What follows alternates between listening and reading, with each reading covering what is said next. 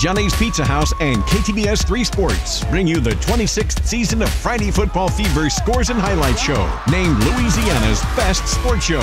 Catch Alex and the team as they bring you a full hour of the best plays with the Wimberley Insurance Top 5 Plays of the Week, the best players with the car giant Griffin's Player of the Week, and the best of the best H&W Marines Game of the Week. KTBS Friday Football Fever, named best sports show in the state by the Louisiana Association of Broadcasters, coming August 26th.